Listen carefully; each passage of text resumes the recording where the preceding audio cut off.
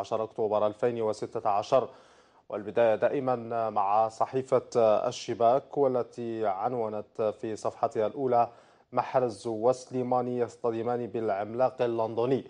في إشارة إلى التنقل الصعب لليستر سيتي إلى لندن لمواجهة نادي تشيلسي ضمن ثامن جولات البريمير ليغا حيث يسعى النادي اللندني إلى الفوز ليرفع رصيده إلى 16 نقطة ليقترب من الصدارة.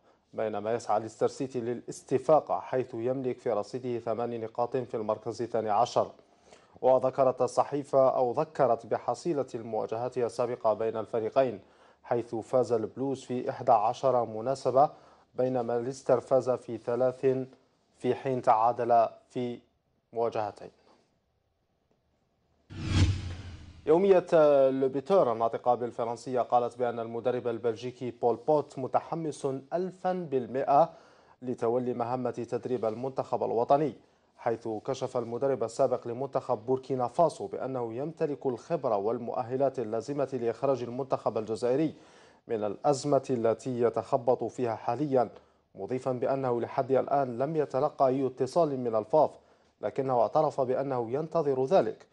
وفي التصريح الذي أوردته صحيفة لوبيتور قال بول بوت بأنه يشك في أن مشكل اللغة هو من عجل برحيل رايفاتس وبالتالي فشله في قيادة المنتخب الجزائري.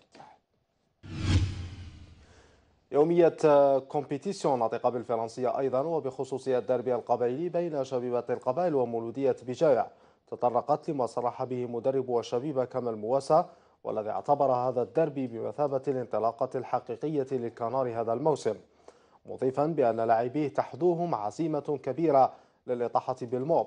وختم مواسى حديثه بتوجيه دعوة لأنصار الشبيبة للحضور وبقوة إلى ملعب الفاتح نوفمبر بتيزيوزو لمساندة الفريق.